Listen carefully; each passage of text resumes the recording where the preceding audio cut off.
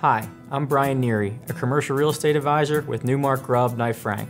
With us today, we have managing partner Scott Cohen of Quattro.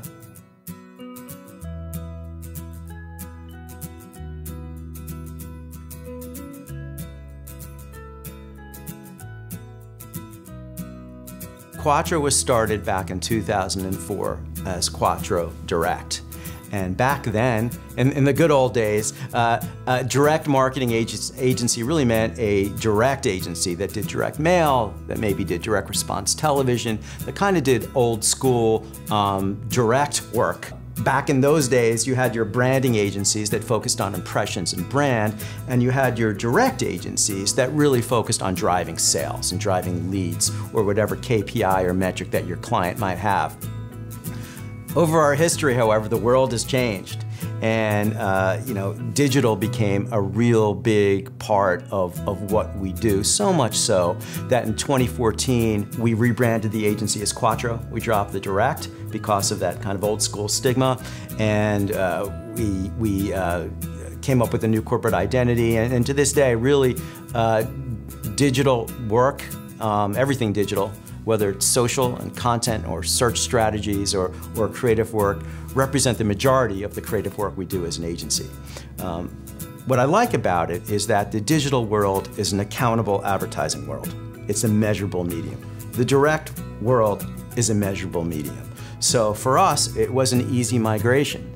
Yes, we had to hire um, people that, that really uh, understood the unique disciplines on the digital side, but we fully embraced it as an agency. And to date, we view ourselves as an omni-channel agency, an agency that really does everything, both traditional advertising and digital advertising as well.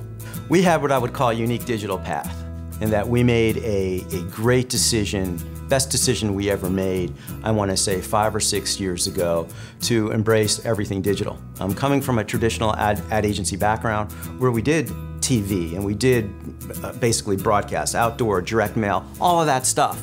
And you know what? We still do it, and we still do it great, and it still it still accounts for uh, a sizable portion of our agency revenue.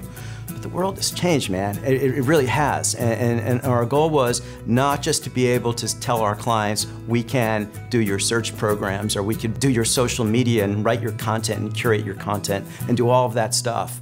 Uh, whether or not we outsourced that or, or, did that internally, we decided, we made a decision to fully embrace the digital world. Uh, but what we did not want to be pigeonholed at, like, like we were pigeonholed in the past as more of a traditional agency, we did not want to just be a digital agency. We wanted to be an agency that fully embraced everything, where our clients could come to us with a need, with a strategic need, and we could come back to them with a digital solution, a traditional advertising solution, whatever it might be. And I pinch myself right now because we've fully embraced that I've got an unbelievable staff of 60 plus people across all mediums, and uh, we're providing those services for our clients in a great way.